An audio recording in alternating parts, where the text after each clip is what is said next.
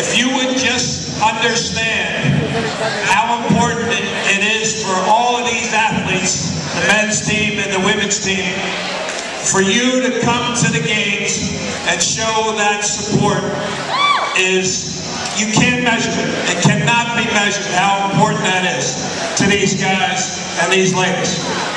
And I wouldn't stop there, by the way. There are so many things going on at Temple University whether it's the other sports, whether it's the arts, and all of the different clubs and associations that are out there. Support one another. You're in this together. We want to make Temple the best that it possibly can be. So that 10 years from now, and 20 years from now, you come back and say, you know what? I had a fabulous college experience. So thank you for tonight. We need you to show up at these games. The women need you here. And in Lee, of course, we need you. The football team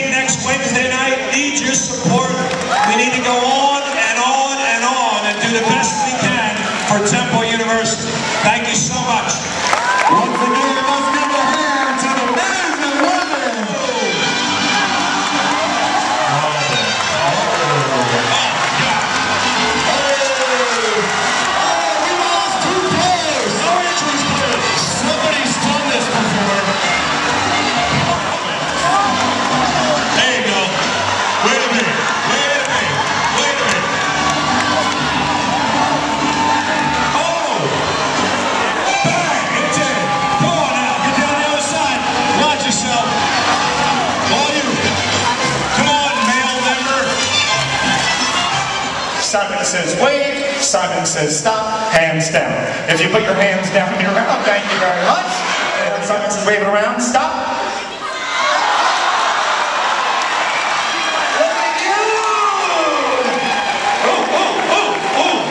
Ooh, they gave you, gave a little, little thing on your, on your tush, little, little tush thing with the sports and the tush. All right, down, Simon says touch this, Simon says hands up, hands down, hand, you're out.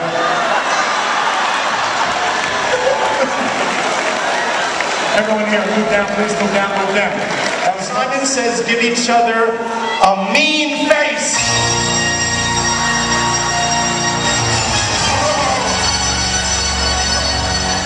Simon says stand up, and Simon says let's shake it.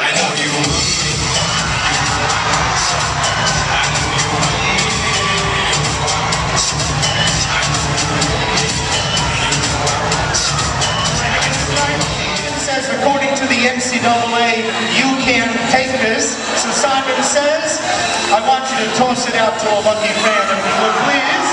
Oh, wait a minute. But Simon says, when you come to the games, you will know that this young lady is the finest Simon Says player, along with Gary, in the history